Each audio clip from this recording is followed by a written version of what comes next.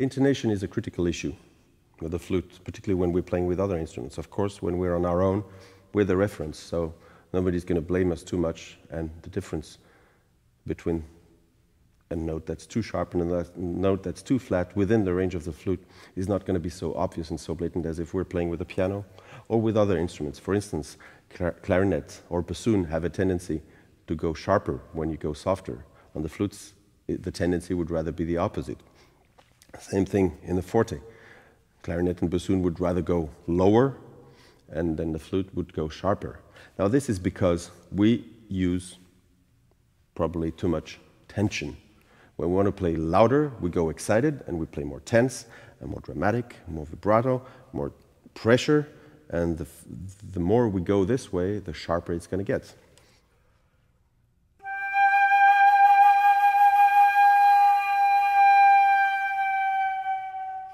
This is happening if we're just using more tension on the lips in order to play crescendo and getting more excited, more vibrant about it. We use more, more vibrato, then it becomes sharper, it goes more tense. The focus of the tone is less, and there's more side noise coming here from the head joint. And then when we go diminuendo, the sound is going to go, oh, going to fall down because of the pressure falling down. In order to be in tune on one note, we need constant pressure, whether we're playing soft or loudly. What makes the difference between loud and soft is the amount of air. So there again, the pressure is, has to do with the speed of the air. And the amount of air has to do with the opening, with the quantity, with how much air, how big is, gonna, is the sound going to be. When it's thin, then it's going to be piano, and when it's broad, it's going to be forte. So we go very thin in the beginning, and then I'll go crescendo.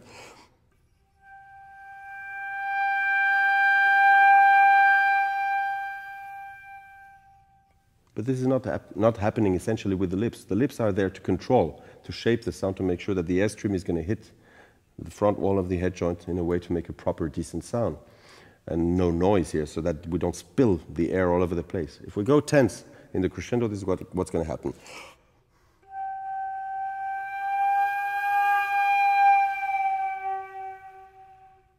The sound and the intonation suffer both from that.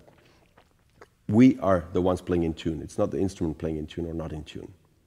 And therefore, position your air support in the right way. And each note has a different support, but all of them are centered here.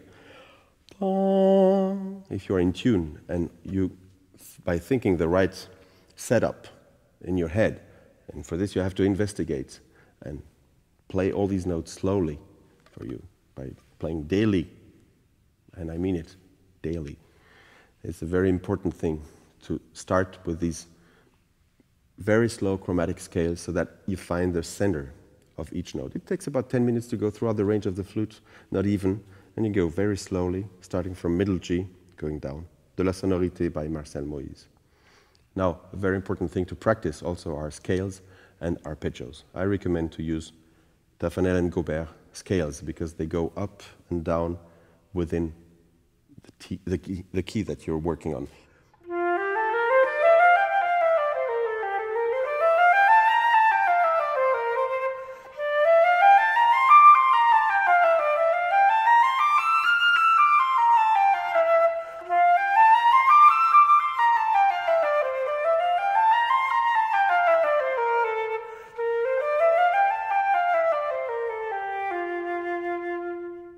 And on this scale, on the base of this scale, this is Taffanel and Gaubert daily, again, daily exercise, exercice journalier. A very important book that we can really put next to our bed and, and learn from it every night during our sleep. We, have, we find also other exercises with different intervals.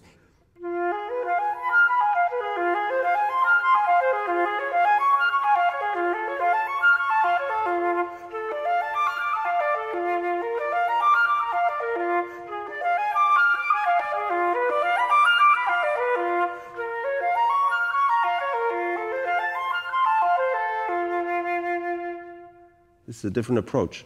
On every note of your scale, you're going to play all the possible chords based on three notes that have this note within the chord. And therefore, you're going to be able to learn about all arpeggios as you will be finding them in the music later on because Bach, Handel, Telemann, Mozart, Beethoven, further, any composer up to Poulenc and Prokofiev, they're all scale, all using scales and arpeggios in their music. When you play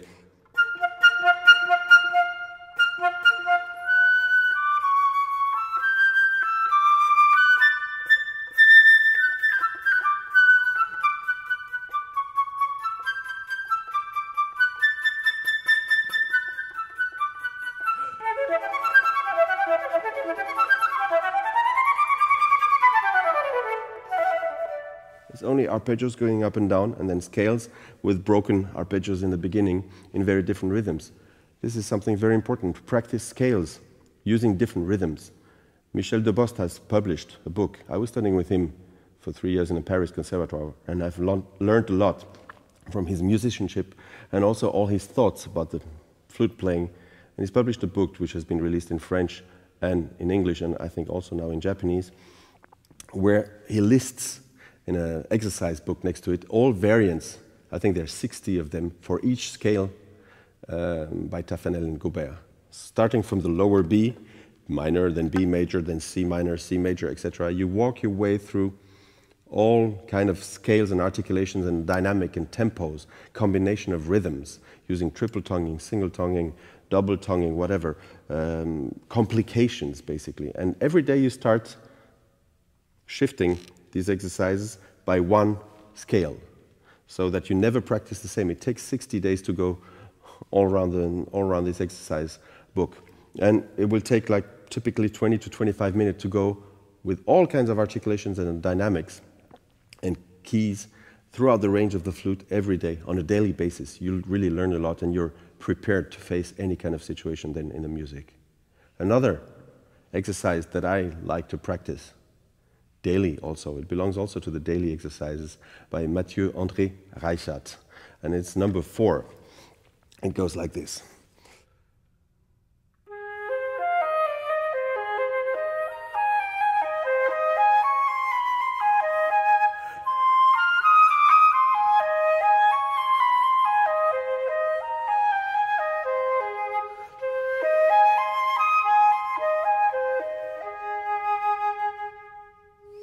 I like this exercise because it goes around and with lots of curves within one key and goes up and then down again is very expressive and very, um, I would say it's exemplary for any kind of situation that you will find in the music later on. When you, when you play, for instance, Brahms' Clarinet Sonata in E flat major,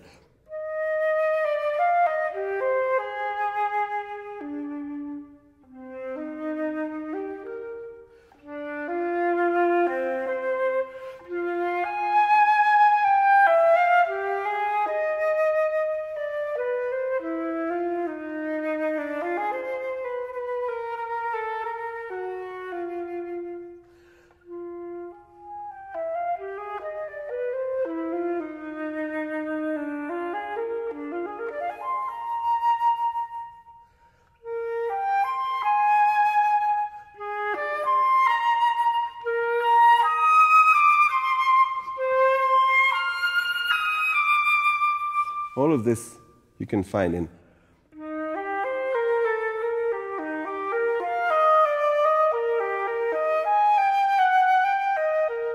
etc., etc. All of this is already there in Mathieu André Reichert. So using Marcel Moyse de la sonorité, chromatic scale from the middle G, first down and then up, to, to, down to the lowest note that you have on the flute, either a C or a B, up to the D, same thing then with the scales by Taffanel and Gaubert, using the Debost variants and all these uh, rhythmical, melodic, and dynamic complications in there. You will be practicing every single possibility and manner to playing, of playing the flute. Then the arpeggios by Taffanel and Gaubert, and then the daily exercise number four by Mathieu André Reichert. This, these are the four basics that will be serving and helping you in any kind of situation in the musical world, in your musical life.